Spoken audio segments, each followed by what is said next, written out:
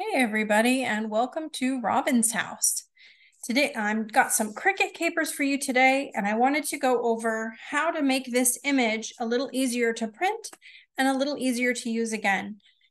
This is especially important if you're printing something several times, uh, because you don't want to, it isn't very fun to deal with each of these individual letters. So what I did in the June Scrap with Robin is I got a box and I was going to put this image in a four by four box on my scrapbook page. So I'm going to have a box and I'm going to turn it white because it will be printed white when I finally use it.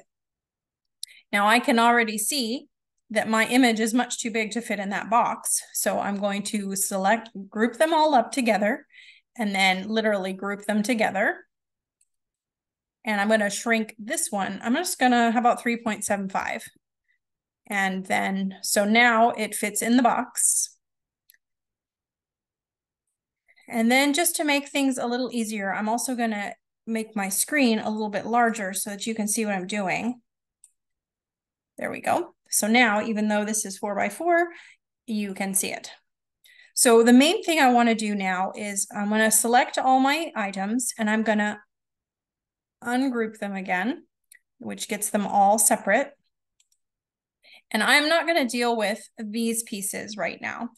I'm um I'm going to undo so control Z control Z again. Okay, so they should still be are they uh, control Z one more time.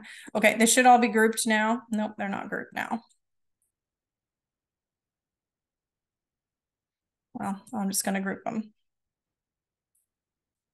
Okay, so now they're all grouped together and they're we can check and make sure that it fits nicely within a four by four box.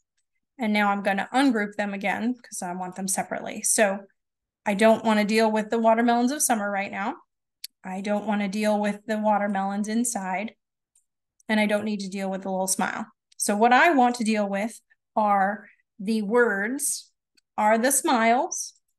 And then I'm going to push shift and click on the box and down here, the slice button has shown up again. So I'm going to go ahead and slice. And what that's actually doing is slicing everywhere that is overlapping. So that now, since I sliced it, I can take are the smiles away.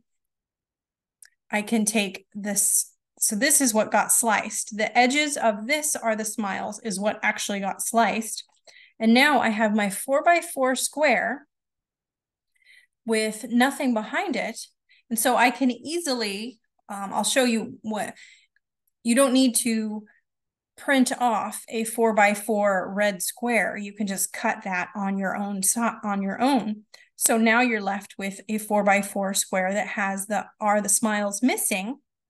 So you don't have to have all those individual letters. And now we can put, I'm going to arrange this, send this to back. And now I should be able to put all of my watermelon pieces back into place on this image. And it looks like now how I want it to look. Now you can do the exact same thing with watermelons if you wanted to. And it's the same way. You click on the watermelons word, you click on the white square and slice them apart. So thank you so much for watching. I hope that helps.